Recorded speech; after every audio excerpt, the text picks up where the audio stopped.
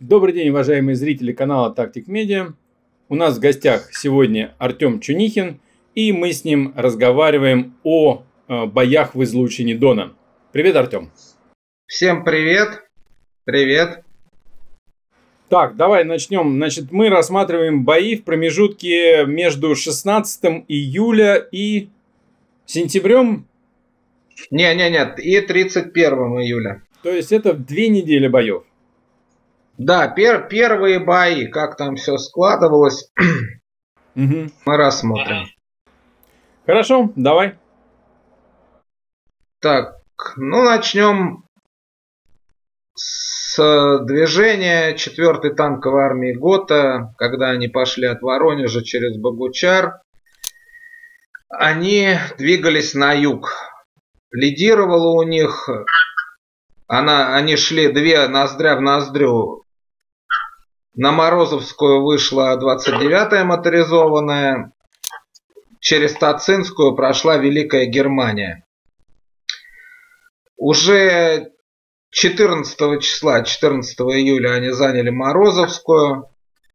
29 и тут они за, зависли из-за отсутствия топлива. 15 числа они хоть и захватили там склады с горючим и аэродром наш с нашими самолетами, но им строжайшие из группы армии запретили пользоваться этим горючим. Они изыскивали какие-то резервы. А почему запретили? Не знаю, не, зна не, не знаю, как они планировали была поход на Кавказ, но у них вот эти проблемы четко прослеживаются. Так они же за горючим туда и пошли. Ну да, да, да, надо было дойти. Вероятно, они потом перегруппировались для группы армии Б, выделили эту горючку. Но так или иначе, 15 числа они оставались в Морозовской. Э, в журнале боевых действий Сталинградского фронта, который там на днях был создан, отметили, что так расплывчато группа автоматчиков противника просачиваются на железную дорогу Сталинград-Лихая, нарушают движение, то есть, а там уже стоял передовой отряд с танками, с танковым батальоном 29-й моторизованный. Западнее, западнее через Тацинскую шла Великая Германия. Там э, войска Южного фронта все шли, вот этот ужас отступления, все шли через Дон к переправам, там, ну, уже все было дезорганизовано, и это движение 4-й танковой отрезало войска армии Южного фронта от Дона, они пытались отрезать, там в итоге у них вот это окружение под Миллерово получилось. Но 15 числа 15 июля 1942 года 120, 121-я танковая бригада Невжинского, такой командир бригады, она ехала на запад, проехала Морозовскую накануне и, поняв, что немцы уже находятся в тылу, она получила приказ войти в подчинение 62-й армии. Бригада разгрузилась с железнодорожного состава и стала двигаться на восток. И вот первый бой бригады, разведка 3 танка Т-34, они как раз вот с этой 29-й моторизованной 15 числа на, завязали бой в этой Морозовской, но все три танка потеряли, заявив там несколько противотанковых пушек и до взвода пехоты они, мол, уничтожили. И бригада южнее, обходя Морозовскую, пошла навстречу 62-й армии, которая в это время выходила в излучину. Правильно ли я понимаю, что э, вот э, фактически войска Южного фронта были разгромлены да, в этот момент? Да, да, да. Получается, что новую линию обороны строили на основе 62-й, 64-й и 51-й армии по, так скажем, захватывая излучину Дона и по дальше по Дону вниз по течению. Да, да, да. По восточному берегу, вот они излучены по западному, а потом переходили на восточный, и там до Ростова там 51-я и другие армии Северо-Кавказского фронта. Там они оборонялись. Ну и пытались как-то а, ну, оборонять Ростов. Угу. Таким образом, 15-го 29-ка стоит, 29-я моторизованная стоит в Морозовской, они собирают остатки топлива, и в ночь на 16-е передовой отряд начинает движение к Дону. И сделав 100 километров за день, они к вечеру 16 числа выходят к станице Цемлянская. Там войска 51-й армии, в ней она, ее правый фланг примыкал к Сталинградскому фронту, она подчинялась Северо-Кавказскому, там была вот 138-я дивизия Людникова, 91-я стрелковая дивизия, 302-я туда выходила. Они были в процессе только выхода занятия рубежей, но рубежи там тоже исчислялись десятками километров. Никаких там приближенных к уставу там а, полос обороны для стрелковой дивизии там и в помине не было. Там 138-я Людникова, она там 40 километров или 50 занимала, 91-я тоже километров 30. Скажи мне, пожалуйста, а вот цель э, э, первой танковой вообще какая была? То есть присоединиться к групп, группе армии А, которая на Кавказ идет? Да, да, да. Не, первая танковая, ты имеешь в виду немецкая? Немецкая первая танковая армия, да. Ну да, да, у них цель, цель была Кавказ. Первая танковая, там Угу. Четвертая танковая, опять же, Готта. Угу. И стрелковый батальон 91-й стрелковой дивизии под командованием, под командованием полковника Макурчука. Угу. Это, командир этой дивизии полковник Макарчук. При выходе танков немцев к Цемлянской, в общем, батальон бой не принял, и даже в ЖБД армии написано, что дрогнул и разбежался. Немцы выходят, занимают станицу на высоком берегу, там такой не, тоже небольшой излучено, поворот Дона. Занимают станицу и небольшой отряд, там Гаупман Мутиус, по-моему, командир мотоциклетного батальона этой 29-й моторизованный. Вот, небольшой отряд с ним во главе переходит мост, который чуть выше по течению от Цемлянска находился, переходит мост, там, значит, забитый брошенными повозками. Ну, проехать по нему нельзя было. В общем, они перешли, небольшой отряд пехотный, заняли плацдармчик небольшой, и штабу ГОТа пришло сообщение, что доложили они, что мы форсировали Дон. Тут вот в группе армии такой разговор состоялся, значит, Герман Гот весь такой, на, как говорится, на подрыве, сообщает в, в группу армии, так, мы форсировали Дон, давайте я сейчас или ударю на юг, там, в сторону Краснодара, или поверну на запад, обойдем Ростов, с запада ему там, эй, спокойно, спокойно, давайте укрепляйте предмостное, предмостное укрепление, делайте, то есть укрепляйте плацдарм. Значит, пока он там переговаривался, выручили от, можно сказать, начала катастрофы, если бы они захватили плацдарм, выручили Катюши. Туда подошел 19-й гвардейский минометный полк и 7 установок дали, значит, по этому мосту и западную залп и западнее моста. Потом еще дивизион 120 миллиметровых минометов, значит, доделал дело, мост загорелся, часть обрушился. И этот Гаупман со своими, со своими бойцами, значит, мотоциклистами, они перебежали обратно. Ну, стало ясно, что ну, сходу не получится. И получили приказ, значит, дожидаться мостовых колонн, сапер и готовятся к форсированию Дона. И наметили его на 20, 21, 21 июля 1942 года.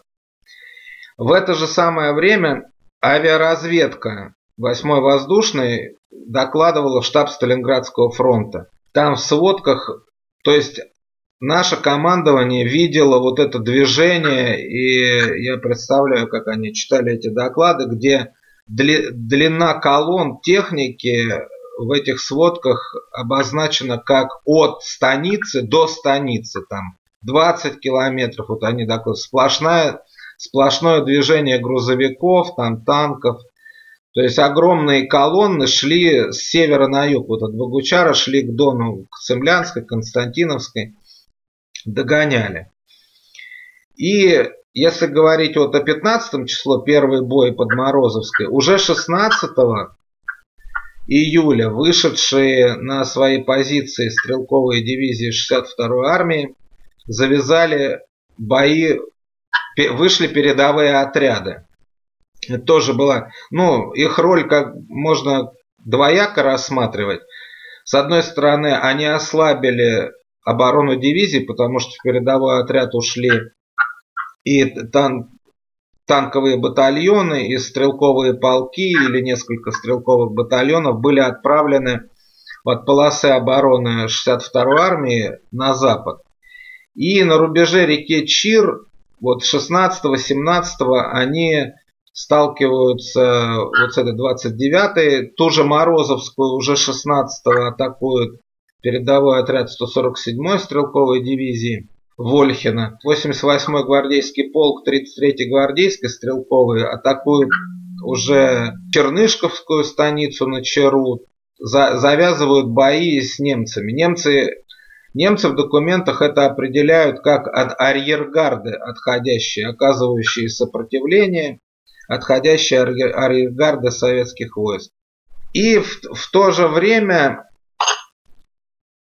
вот этот и в излучине Дона от станицы Клецкая и до станицы Суворовская по западному берегу Дона занимает оборону 62-я армия. У нее там какая была особенность, что Плотнее дивизии встали вдоль железной дороги Сталинград-Лихая.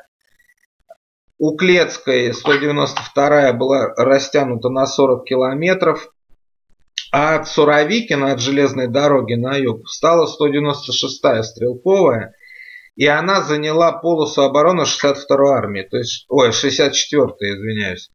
Она, армия Ей командовал в то время Чуйков, и он, он вместе с армией ехал из-под Тулы. А 62-я сформирована была в Сталинграде. И 192-я, 108, потом она, если справа налево, значит, дивизии встали 192-я, 33-я гвардейская, 181-я, 147-я. И 196-я заняла полосу обороны. Командовал 62-й кто? Командовал, а, да, командовал 62-й Колпакчи, генерал Колпакчи. Угу. А Сталинградским фронтом? А Сталинградским фронтом сняли, значит, за вот этот Миллерова э, Тимошенко сняли, стал командовать Гордов, такой генерал-майор Гордов. В общем, они стали расставлять этот 62-ю армию, на подходе была 64-я. Соответственно, к 21 июля, переносимся опять к Цемлянской, к 21 июля немцы начали форсировать Дон с целью занятия плацдармов и, даль и дальнейшего продвижения на Кавказ. У Цемлянской, значит, собралась 29-я моторизованная, они там провели отвлекающий маневр, то есть у станицы вывели на берег на высокие танки, Э, начали пулеметным огнем и огнем из танков якобы прикрывать переправу, а на самом деле стали форсировать ее немного южнее, по, ну, вниз по течению. Это там, где 15-й ПП на схеме, да? 15-й пехотный полк, 1, 3 и 2 рота. Да, да, 15 да, там два полка пехотных, у них 71 и 15 вот этот 15-й он первым форсировал. И надо сказать, что из-за протяженности обороны 91-й стрелковой, ее батальонов там они были растянуты, и они не занимали именно пойму, потому что там смысла нет в этих кустах, там в пойменном лесу окапываться там особо не окопаешься. Соответственно, более-менее какие-то ячейки там на аэрофотосъемке у меня есть, они просматриваются уже на выходе из поймы, соответственно, там заболоченная местность и нет, нету секторов обстрела. И, не, и еще один момент, что почему им так легко удалось Вот э, стоит упомянуть ролик есть такой на ютубе с камерой на Сталинград. Там именно снято 29, этими солдатами 29-й моторизованной, немцами. Там есть вот момент, когда они летят эти 100 километров, проезжая мимо ошарашенных красноармейцев, которые стоят около повозок на обочине. То есть они вот этот передовой отряд, бросок к Дону. И есть еще момент форсирования, там тоже на резиновых, на моторных лодках они перетаскивают на небольших там связанных паромчиках, перетаскивают там противотанковые пушки, сами переправляются относительно спокойно. Там произошел еще такой момент, потому один батальон этой дивизии 91 он сам форсировал Дон с целью выбить немцев из Цемлянской. То есть вот станица Цемлянская, ну, на схеме будет видно, ниже по течению немцы форсируют, еще ниже по течению форсируют наши. Там, но десант был неудачный. Они с одной стороны вышли, немцы тоже в документах э, отмечают, что русские там, мы тут переправляемся, русские там. Наши вышли к винсовхозу Цемлянскому, там завязали бои, атаковали, достигли позиции артиллерии, но один батальон пришел немцев на подмогу, и ударом во фланг они сначала отбросили их там, к хутору, потом уже с помощью там, танков, бронетранспортеров, нескольких штук, отогнали их э, к Дону, и, в общем, они кто вплавь, кто как переправились. Там командующий десантом, там майор, замкомандира полка Деревянко, он погиб. И таким образом была ослаблена оборона, плюс растянутость. И немцы занимают 21 числа, завязывают бои. И тут ну, завяз... выходят в пойму и выходят э, хуторам, там Лог, Богучар и Красный Яр, которые находятся на пойменном берегу. Тут стоит отмет, отметить вот э, один из передовых отрядов. Большинство их действовало в излучине Дона 62-й армии. Там они относительно успешно или безуспешно пытались остановить продвижение, замедляли действительно его.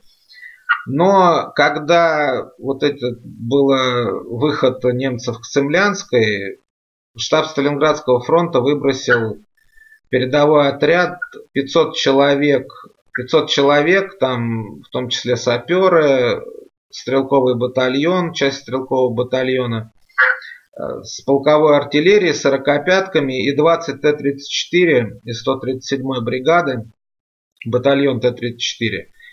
Командовал им майор Суховаров, он зам по автобронетанковым войскам был 64-й армии.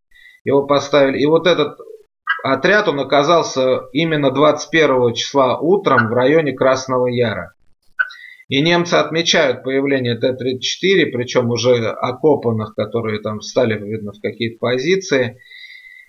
Вот это появление этого отряда вовремя и, соответственно, форсирование, подброска резервов, там один полк 138-й дивизии Людникова туда сразу бросился на Красный Яр. Буквально с вагонов сняли Краснодарское пулеметно-минометное училище. То есть частично.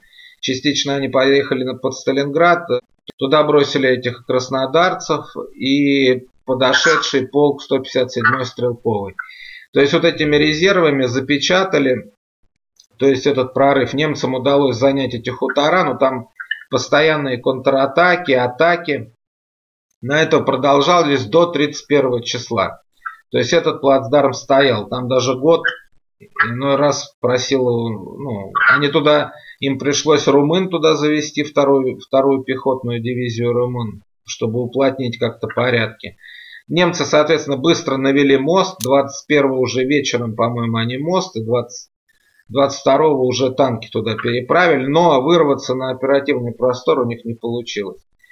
И вот тут стоит отметить, что Цемлянский плацдарм как-то более на слуху, известный, если читать про Сталинградскую битву. Он ближе, конечно, был по, к Сталинграду. Но ниже по течению третья танковая дивизия образовала также 21 числа одновременно плацдарм у Николаевской. И там под рукой резервов не оказалось близко. И им уже, уже 23 июля удалось занять плацдарм на реке Сал. Там за, за, не, не то, что плацдарм, а захватить мост там 8 тонны, они его тут же укрепили до 16 тонн. И таким образом уже к 23 числа они были от Дона в 30-20 километров уже на юг в сторону Кавказа. Это вот протянули палец. И там 51-я армия, 56-я, они стали собирать резервы, чтобы как-то контратаковать, но уже следом за третьей туда была назначена переправа 23-й танковой дивизии. Ну и вот таким образом сложилась вот июльская ситуация на правом фланге Северо-Кавказского фронта. И именно к 23 июля начались бои в полосе 62-й армии. То есть вот эти дни, пока шли бои на Цемлянском плацдарме и, и южнее, сначала 6-я армия шла пешком, у нее не было вообще подвижных соединений, там шла 113-я пехотная, за ней 100-я егерская.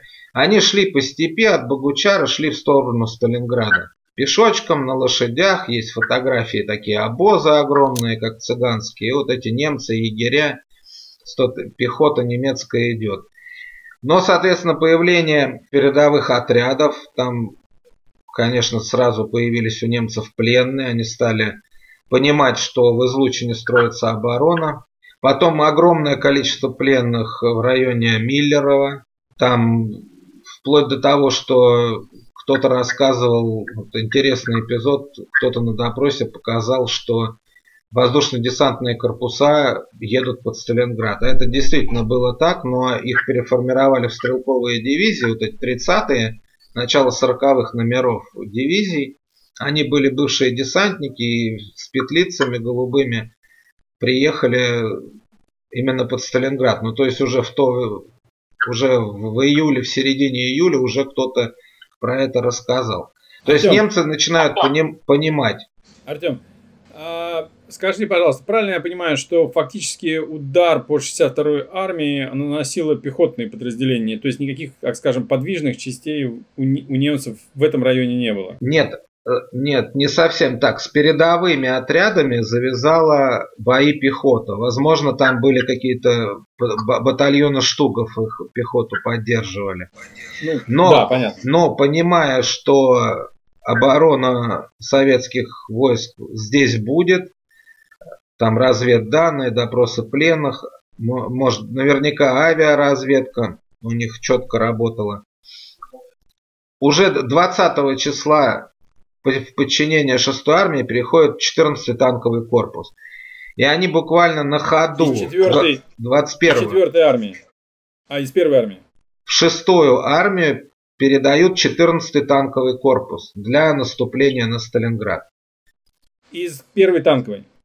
Да. Из я, я точно не помню, кому он почита, подчинялся, но он, да, шел там по тылам 4-й танковой, там вот это карту покажем, там целое месиво. Вот сейчас не вспомню, кому он подчинялся, но или с первой танковой, или с четвертой танковой. Угу. По-моему, даже, по-моему, из четвертой. Ну, точно не вспомню, ладно. И им 21 его, по-моему, передают в подчинение.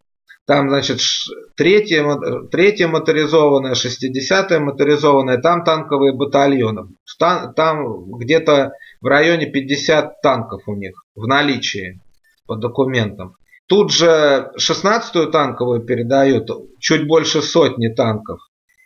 И сразу усиливают артиллерии, там мортиры, гаубицы, крупные калибры. Идущую впереди 113-ю пехотную тоже подчиняют в этот корпус. И они строятся буквально за день-два. Они строятся, значит, третья моторизованная вдоль берега, рядом 60-я, потом 113-я и 16-я танковая. И вот так они подходят и 23-го таранят оборону 62-й армии генерала Колпакчи. Там такой момент, вот взять оборону 192-й стрелковой полковника Захарченко. Оборона 40 километров, между батальонами, батальонными узлами сопротивления расстояние 5-7 километров. В отчете написано, эти промежутки оборонялись, а точнее охранялись взводами автоматчиков. То есть третья моторизованная заходит в станицу Клецкую, сбивает там этот заслон. Наши выходят сразу в тыл. 60-я таранит оборону одного батальона и выходит на командный пункт 472-й полк этой дивизии. Он, значит, танки уже к 23 числа ведут бой в глубине обороны. Но перед этим появление вот этих моторизованных дивизий перед обороной за день, за два, тоже замечает советская авиаразведка, докладывают там о сотне единиц техники по прямой там 30 километров. И в этот момент резерв 62-й армии бросают в полосу обороны вот этой 192-й дивизии. Там была 184-я стрелковая, танковый батальон и танковая бригада 40-я Скорнякова. Танковые батальоны, особенность вот 62-й армии, у нее, значит, танковые батальоны в каждой дивизии были приданы. 21 Т-34, 21 Т-60. Потом по одному ИПТАПу Сталинградскому, вот символ Сталинградской битвы можно считать вот пушку УСВ 76 мм.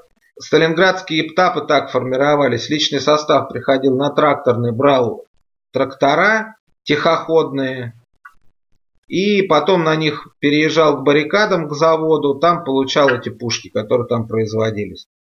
И вот эти вот эптапы. Таким образом, заметив вот этот подход к 192-й к обороне, туда бросают резерв. 184-я в момент атаки немцев, вот этих двух моторизованных, она как раз выходит в тыл этой 192-й, в тылах появляется там хутор Верх, Верхняя Бузиновка.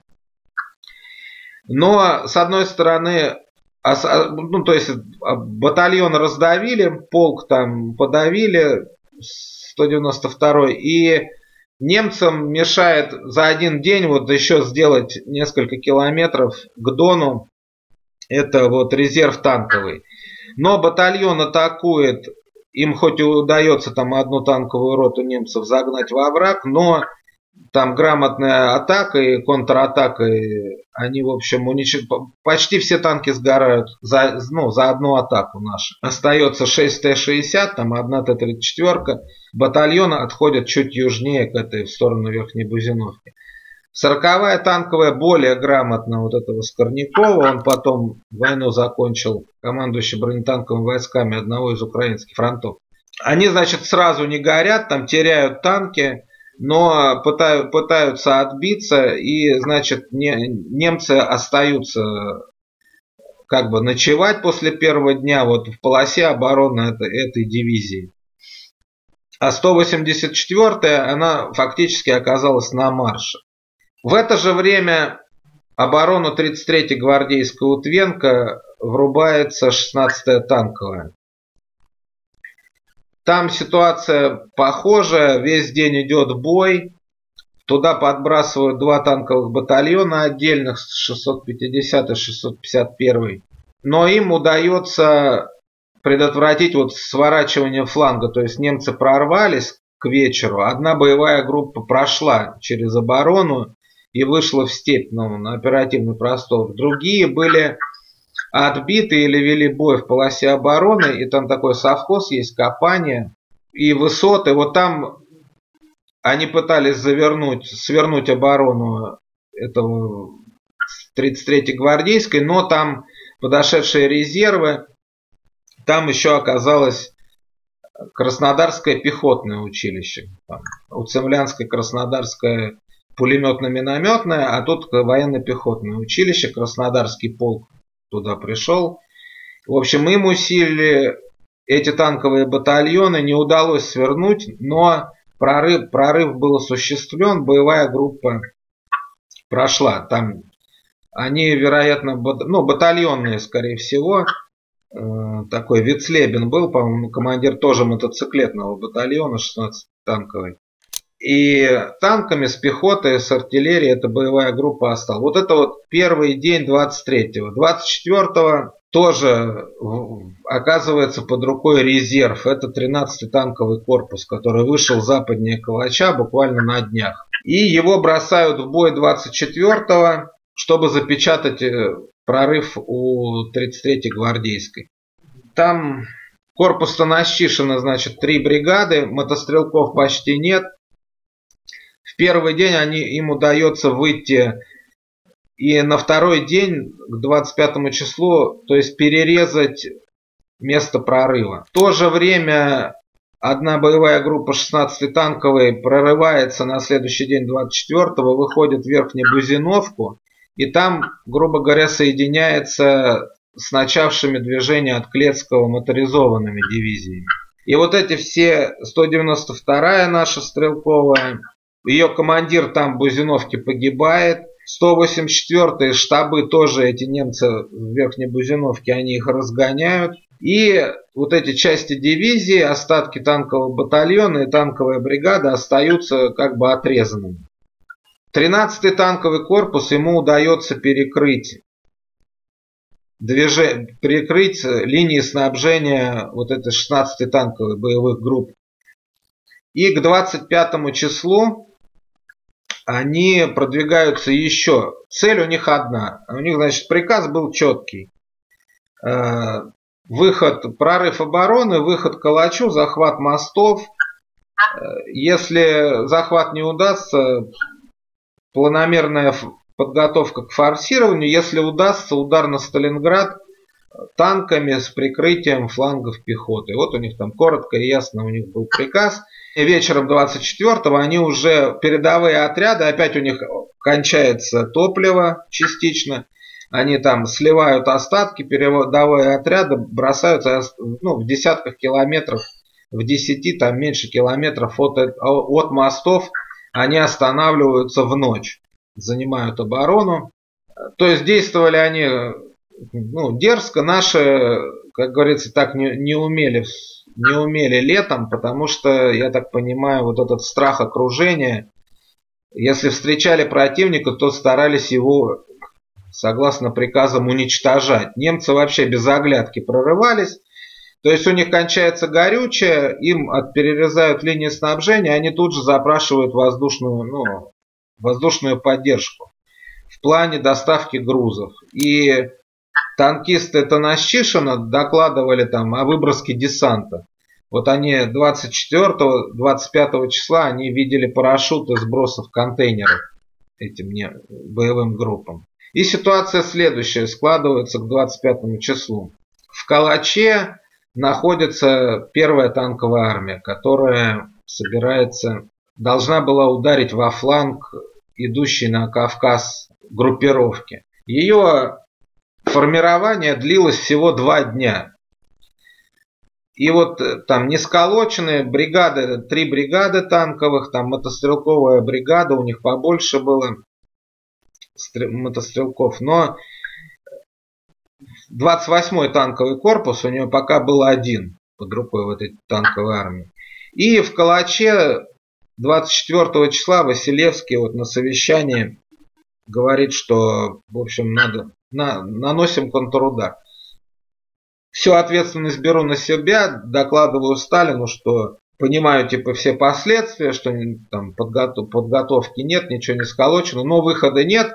Но в принципе он абсолютно трезво оценил, то есть немцы в 10 километров от мостов, если им удается захватить мосты, соответственно, вся 60, это основные линии снабжения той же 62-й армии, которая стояла от мест прорыва южнее там 181, 147 дивизия. 64-я армия. Да, 64-я. 64 И вот 25 угу. числа немцы увидят уже подходящие танки этой первой танковой, и у них, ну, они уже к середине дня, они понимают, что докладов о взятии мостов не будет, потому что их начинают атаковать, да, разрозненно, не сразу, но начинают атаковать танковые бригады. В то же время, к 25 числу, 6-я танковая собирается нанести, ой, шестая армия Паулюса собирается нанести еще один удар. Это вдоль железной дороги Сталинград-Лихая. Туда уже вышли части 64-й армии, ей командовал Чуйков в то время. И оборону они построили так. Вот 229-я стрелковая от железной дороги, потом 214-я стрелковая дивизия и 154-я морская бригада упиралась флангом в Дон у Суворовской. Там 29-я э, дальше уже шла по восточному берегу, и флангами они подходили к 51-й армии. А там... почему они вдоль железной дороги? Там местность более танкодоступная? Ну, они даже, они чуть южнее начали наносить удары в 10. Они вот как-то понимали, что же вдоль железки может быть укрепление, и они нем, немного южнее, там такой Верхнесолоновский хутор, на, там, на 10-20 километров они немного южнее этой железной дороги на, нацелились. Там опять же вот у немцев там, да, порядок, они все грамотно воевали, но такой интересный момент. Следом за 29-й шла 24-я танковая дивизия немцев. Она был, находилась в Морозовской.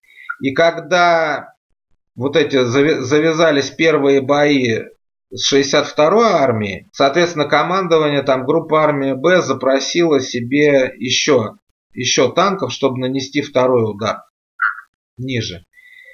И группа армии А, значит, говорит Готу, да, передайте соседям третью танковую. То есть, я не знаю, то есть, а, вот интересно, они, это журнал боевых действий группы армия, вот то ли они на карту на свою не смотрели, и год им замечает, говорит, а третья танковая на плацдарм уже там на сале сделала 23 числа. Возьмите 24-ю, она как раз в Морозовской, туда ближе по прямой. Ну, они соглашаются, мол, да, передают, в общем, 24-го. И когда 25 числа немцы уже 14-й танковый корпус вот, с 28-м нашим корпусом Родина, полковника Родина, бился там у Калача, там такой Липологовский хутор, вот немцы там построили оборону, их в итоге отбросили 25 числа, и там уже 14-й танковый корпус начал кричать, давайте бейте южнее и выходите в тыл русским, то есть если на карту посмотреть, наносите удар южнее железной дороги, форсируете Чир и бьете русским, ну то есть там сразу, сразу победа, а, победа обеспечена. И действительно, но и тут опять вот и в излучине Дона и в следующем вот стоит отметить опережение наших частей или на день, или на полдня, или на час, или на какие-то минуты. Но немцы все, всегда чуть-чуть опережали. Также получилось и с 229, которая встала от железной дороги и южнее полковника Сажина. Во-первых, часть тоже у нее ушла, часть батальонов, не, у нее один батальон ушел в передовой отряд, а остальные из девяти батальонов три было на марше. То есть к 25 числу, когда два полка 297-й дивизии и один танковый батальон 24-й танковый атаковали 25 числа, у них, э, то есть в обороне не было трех батальонов, они находились на марше. Вот последняя их оперсводка на вечер 24-го, там четко сказано, что батальон, бата, батальоны находятся на марше и свою полосу не занимают.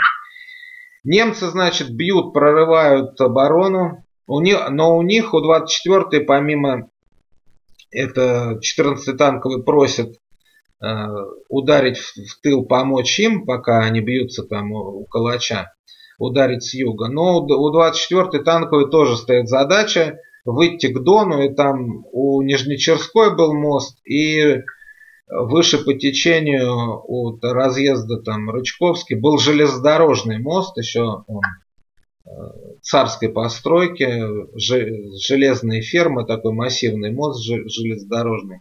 То есть захват этих мостов, плацдарм, а там, мол, посмотрим, сейчас прорываемся, захватываем. Там, может быть, ударить на юг, на, на помощь Готу туда, к Цемлянской, или на Сталинград, там у них такие рассуждения идут. Но э, прорыв обороны, тут стоит отметить еще такой момент, что когда вот этот упомянутый отряд Суховарова поехал к Цемлянской, на западном берегу в тылу 64-й армии была в резерве 66-я морская бригада. И танки, оставшийся батальон, там КВ и Т-60, 137-й. Т-34 у них уехали к Цемлянской, а этот батальон остался в резерве. КВ и Т-60. И вот тут Гордов принимает решение, ну такое странное довольно-таки. То есть по западному берегу на Цемлянскую ударить вот этими моряками и этим, этим батальоном 137-й дивизии. То есть они должны пройти, выйти, там местность, во-первых, там Цемлянские пески, потом высокий, высокий западный берег, изрезанный оврагами балками, они должны были пройти там, я не знаю, километров 60 или 70 до этой Цемлянской, Иуда, и они действительно стали выполнять приказ, но в этот момент атаковали оборону 29-й. Их развернули, они прибежали туда в качестве резерва, но занять оборону там есть воспоминания, моряки только начали окапываться, уже показались танки бронетранспортеры немцев. В общем, с резервом не получилось. Танки тоже вернулись. И там еще была вот эта 121-я бригада, которая начала в Морозовской. В общем, немцы, ну, закупорить прорыв никак не получилось, потому что рухнула оборона 229-й. Там частично батальоны побежали, они вышли в общем, на северный берег Чира. Там тоже образовалась дыра.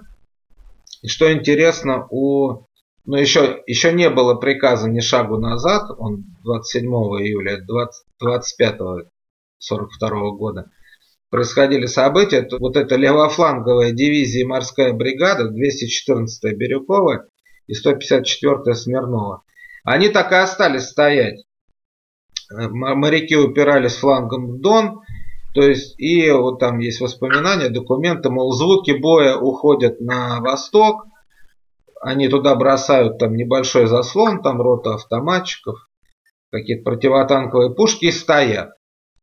Связь вообще теряется 60, со штабом 64-й армии. Там тоже происходит, ну, можно представить, как, на каких нервах там все были. Но там появляется Гордов, значит, у Чуйкова в штабе.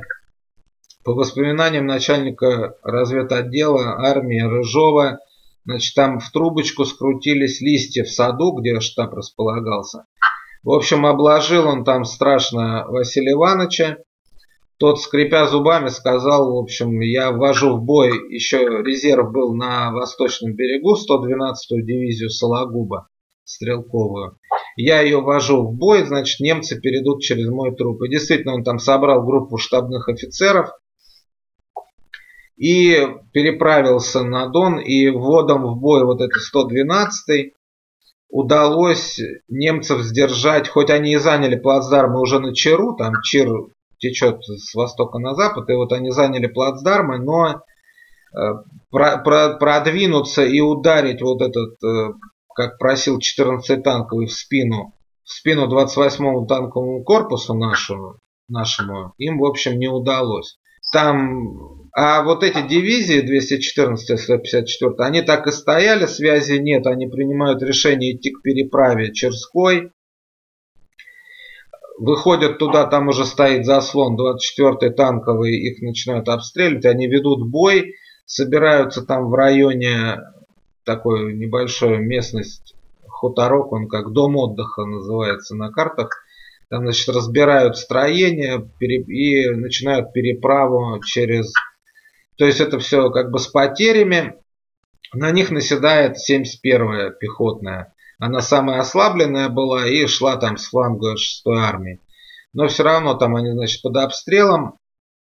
Там тоже дрогнули это с, 204, с 214 дивизии, потом там вот о, о моряках э, хорошо там член военного совета армии отзывался, мол, они там более-менее положение восстановили, чтобы их вообще там в упор не расстреливали, когда они переправлялись.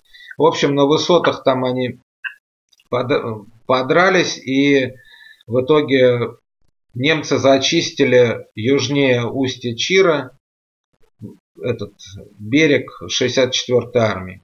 Но, с другой стороны, им не, не удалось форсировать, ну, ну, вскрыть плацдармы на Чару и ударить в спину у калача нашим.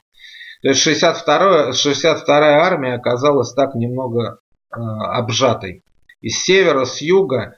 Ну и, соответственно, там в штабе Паулюса начали разрабатывать план об ее уничтожении. А когда четвертую наши ввели в бой?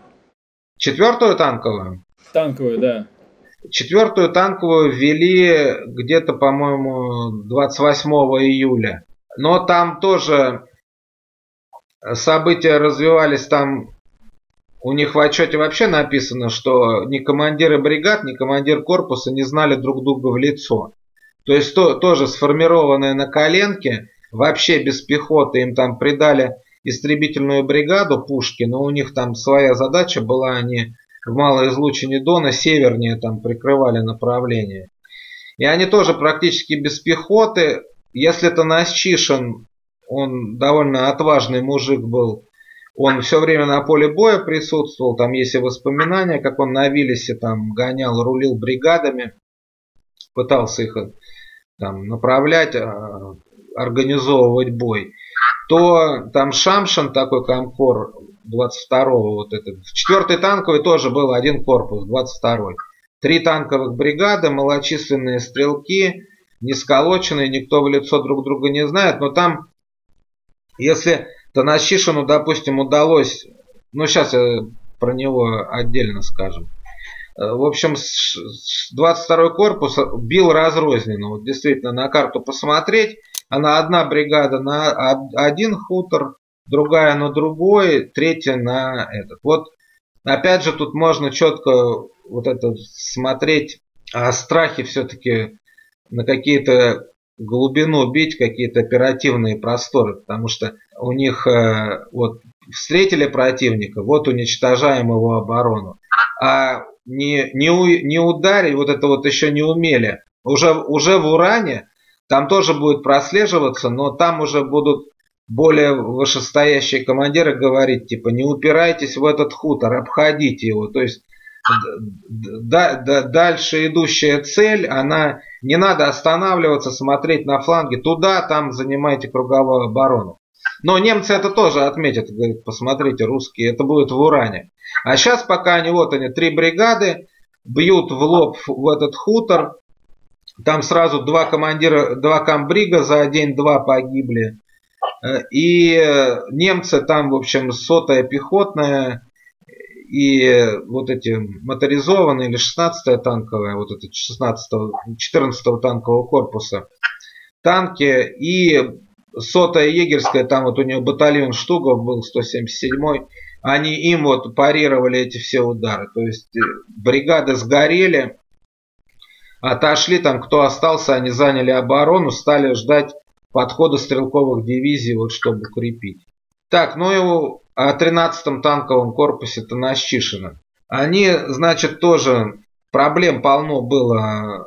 Плохо обученные экипажи, не сколоченные, тоже сформированные за несколько дней. И у него корпус, конечно, тоже сгорел довольно быстро, но, по крайней мере, они наносили удары и препятствовали вот это вот, не давали пройти коридор по снабжению боевых групп, вот, которые бились у Калача. Там их встретили боевая группа 16-й танковой, вот этот известный 521 батальон истребителей танков, у которых был вот этот упрямый Эмиль и Дикермак, кстати, не Вундервафле. немецкие.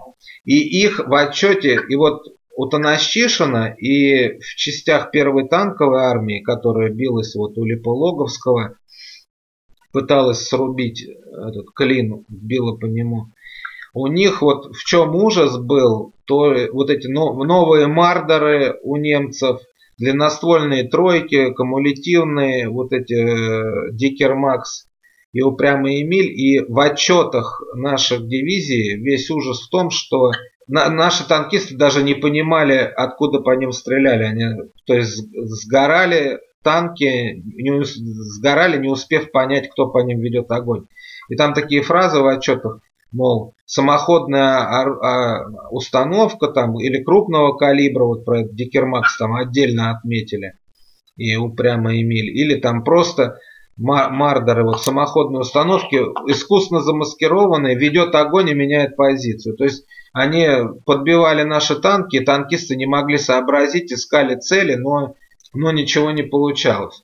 И в итоге вот эта бойня у Липологовского, когда первая танковая постоянно атаковала, там вылилось даже есть э, кадры у Хеншау, это немецкого, там третья моторизованная заявила за пару дней 131 наш танк.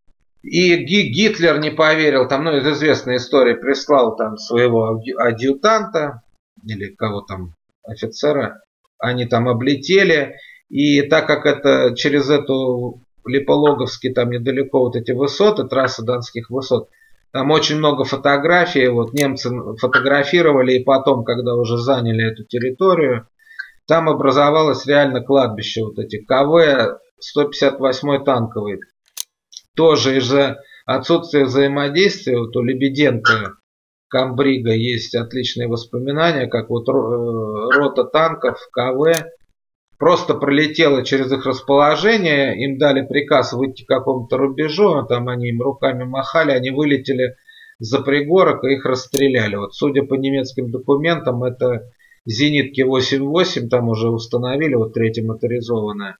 Они там сожгли эти КВшки, то есть в тяжелейших, в тяжелейших условиях в с огромными потерями это все происходило. Еще стоит упомянуть о оставшихся 192 и 184 дивизиях, которые южнее Клецка осталось после прорыва вот этой моторизованных боевых групп. Там они заняли как бы круговую оборону, стрелковые полки, вот эти танки оставшиеся, и к ним прибыл начальник оперативного отдела штаба 62-й армии, такой полковник Журавлев. Он, э, значит, там видно в штабе 62-й думали, что все, там, ну, связи нет. Дошли сведения, что штабы разогнаны, наверное, думали, что все, фланг вообще рухнул.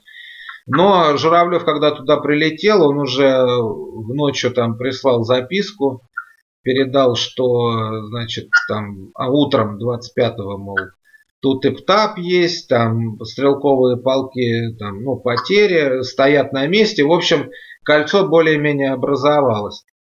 И такой вот интересный момент, как вот немцы ну, возможности у нас, как говорится, там бед, бедная, беднее намного была страна и э, возможности воздушного моста. Вот.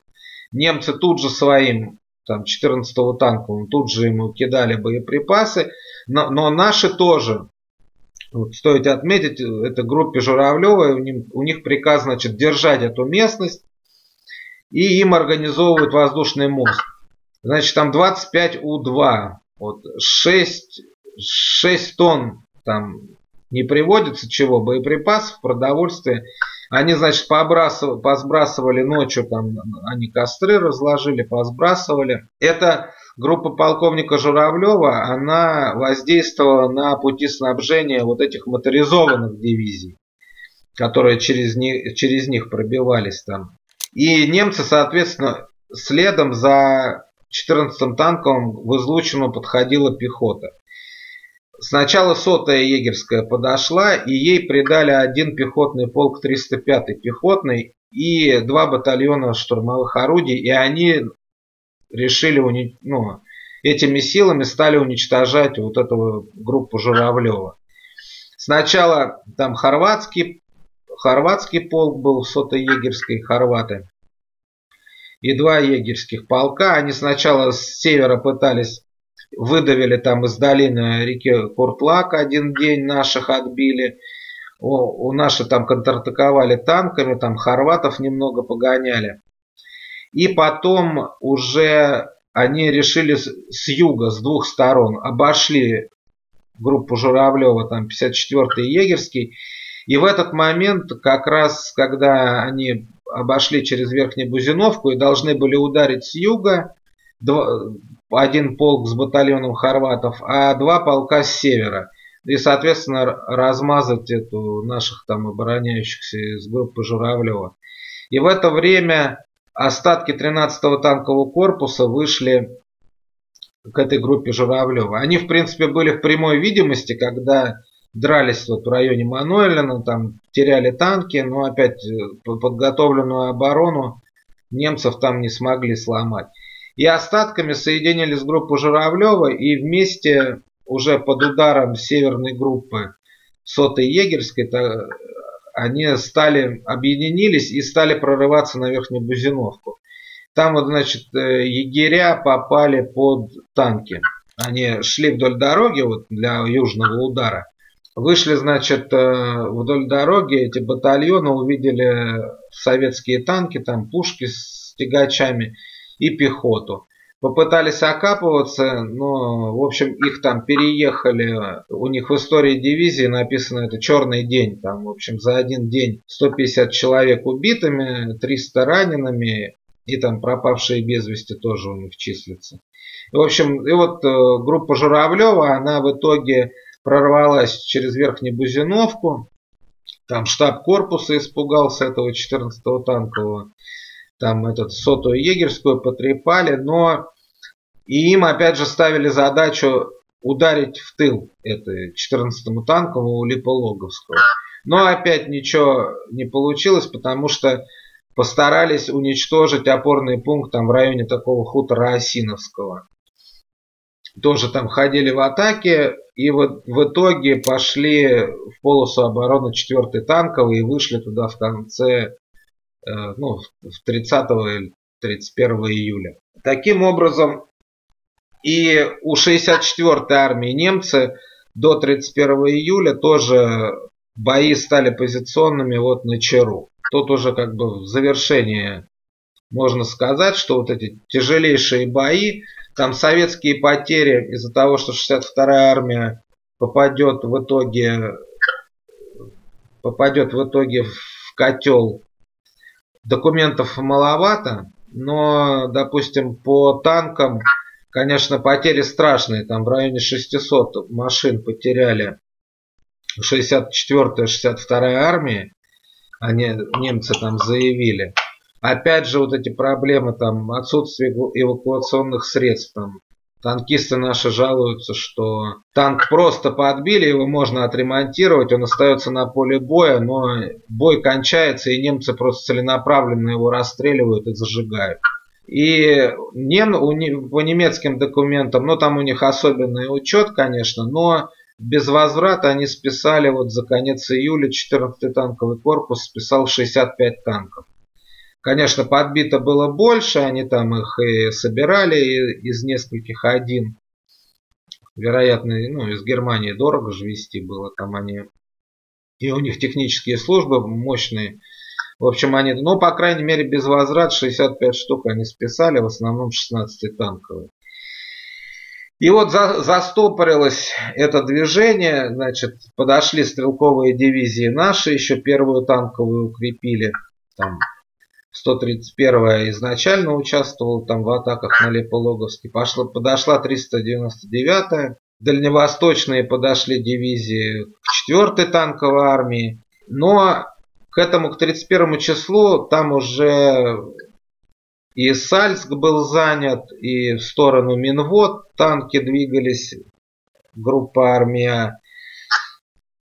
И 31 числа Цемлянский плацдарм был вскрыт. Туда год завел, еще поставил на этом плацдарме вторую пехотную дивизию румын. Их, кстати, хвалили во время наступления, хотя Людникова полк контратакой там даже пленных человек 40, наверное, взял. Когда они начали 31-го наступать, э, наши контратаковать. Но 29-я танковым батальоном вскрыла довольно быстро плацдарм, и тут им пришел приказ, знаковый приказ о развороте на Сталинград. То есть 6-я армия 31 числа встала в излучине Дона, и им нужна была подготовка, они начнут планомерно уничтожать там наши части. Сначала на 7 августа они, наши до 7 августа продолжат контратаковать, а немцы 7 августа только начнут уничтожение 62-й армии. И во многом сыграет тоже вот такой пример, что Гота разворачивают на Сталинград, 29-е атакуют в сторону Котельникова, разворачивается. Им перебрасывают 14-ю танковую, две немецкие пехотные, 6-й румынский корпус, там 4 пехотные дивизии. Это все разворачивается на Сталинград. И этот удар, соответственно, из второй линии обороны снимают 204-ю стрелковую дивизию, когда немцы выйдут. То есть они часть сил оттягивают и, соответственно, ухудшают положение там, ну, там буквально все взаимосвязано.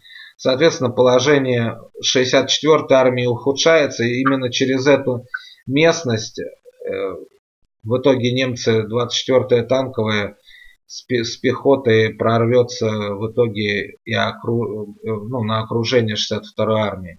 Также резервы, соответственно, оттягиваются на эту четвертую. Туда бросают и 208-ю, и 126-ю дальневосточную ставят на юг. Опять же в лихорадочном порядке. Но это, как говорится, уже другая история.